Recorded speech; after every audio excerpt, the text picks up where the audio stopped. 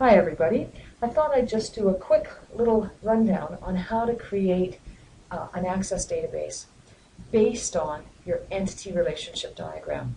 So in class on Thursday, at the start of the class, we looked at the very beginnings of an entity relationship database when we talked about authors and books and how uh, one author could create many books. And this is um, a little bit of a, uh, an ER diagram, example of an ER diagram, based on what we talked about in class. So here we've got two tables, table authors and table books. And if you remember what we did in class, it's like we took what we did in class and kind of stood it on its head. We kind of turned it sideways in that um, I've named one table authors, I've named the other table books. And then I've gone through and I've specified the field names that are in each of the tables. And taken together, one of these, an author ID, a first name, a last name, a rating, and a comment, taken all together, that would make one record in a, uh, in a database file, or in a table, as we talked about. So if we've got this this, uh, this diagram. And here we've, we've got, as I say, table authors defining information about the author, and table books defining information about the books, um, and linking table authors with table books by the primary key here, the author ID, to the foreign key here, author ID in table books. And the way we think about it is one author can write many books. So once we've got this figured out, it becomes pretty easy to build our database. And the way we start off is we find um, Microsoft Access. Now, when you're in the lab, you're going to find Microsoft Access here off the big Start button. I've already opened it up, so I just click to start here. And I'm going to move, and I'm going to create a blank database.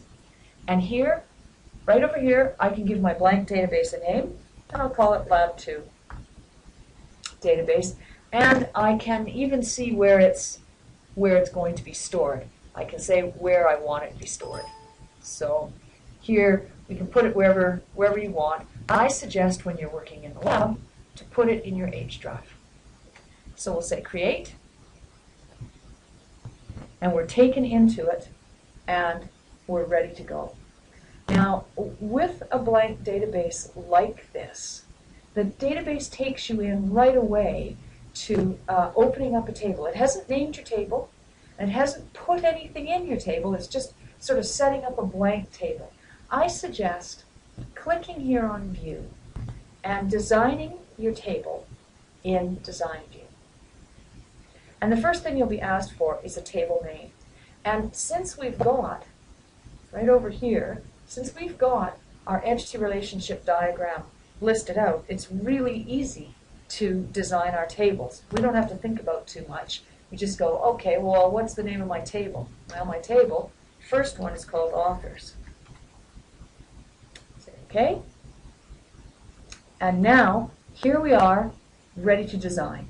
Now, the first thing that's in here, it says ID, but we don't have an ID. We have an author ID. So you see how I've changed that?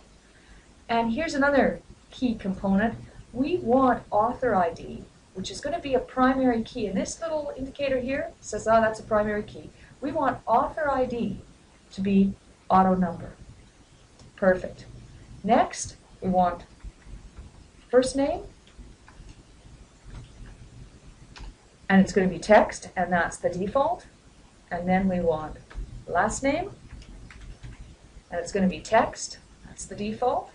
We want a rating, that is going to be a number.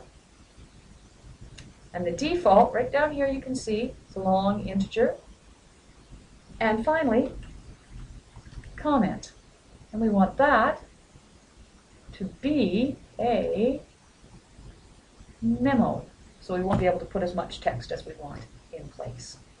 At this point, um, you can save, and it'll save the table, or close and it would prompt you for save.